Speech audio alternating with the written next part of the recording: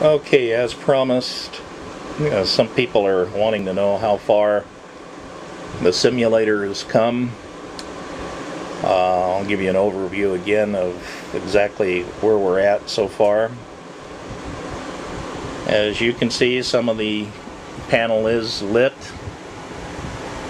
We're using a Phidget 64 card. Down here in the cubby hole is a Leo Bodnar BX086 card which uh, will take 92 switch inputs. Still have the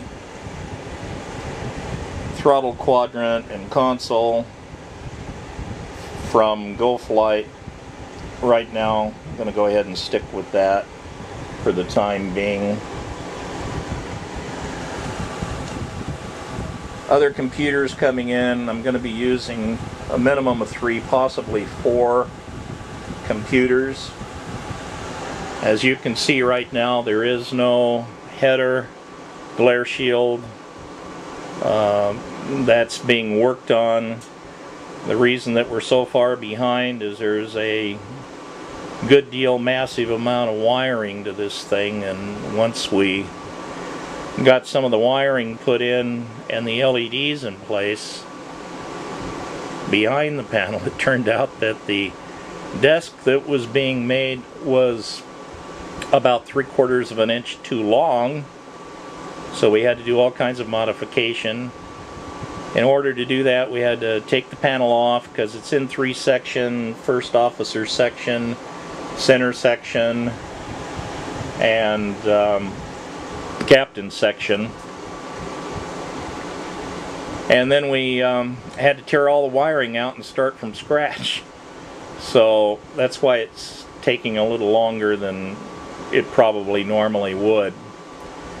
Within the next couple of days we're actually going to wire the monitors up and get them going. Uh, right now I have a sample version of FSX Expand uh, and I also have a sample version of Project Magenta. I'm going to try them both, see which one offers the best deal, both on price and how easy it is to get them working. The center panel has a 15 inch monitor that's sitting sideways right now, in other words, in its proper position.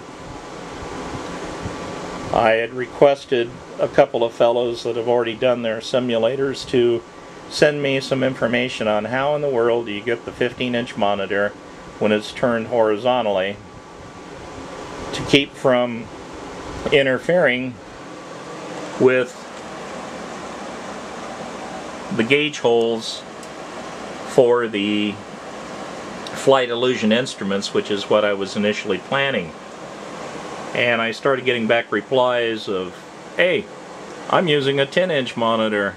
Well I don't know where you get a 10 inch monitor at, but I can't find any. As a matter of fact, most major companies aren't even producing 15 inch monitors anymore unless you go to the old cathode ray tube type monitor, which I don't want to use. Number one, they're heavy, and number two, they're bulky. So the only place that I could find a 15 inch monitor was through Dell.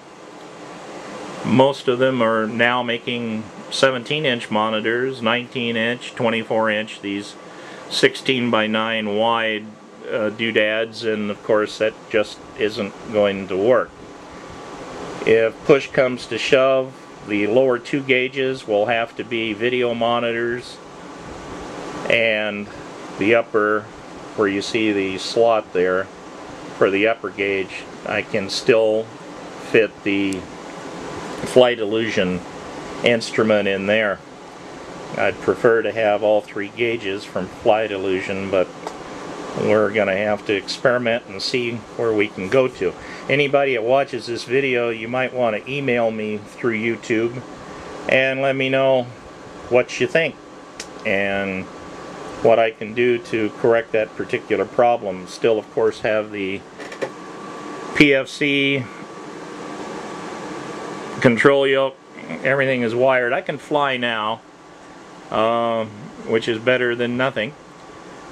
But um, sometime I expect in the early part of September to have the entire overhead in and then it's a process of wiring that and there's 101 LEDs alone on that mother and as you can see we've already had some problems with the wiring here so who knows what nightmares are going to occur with the overhead. Of course you can buy them already pre-made or you just plug and play but frankly I don't have $6,000 to do that.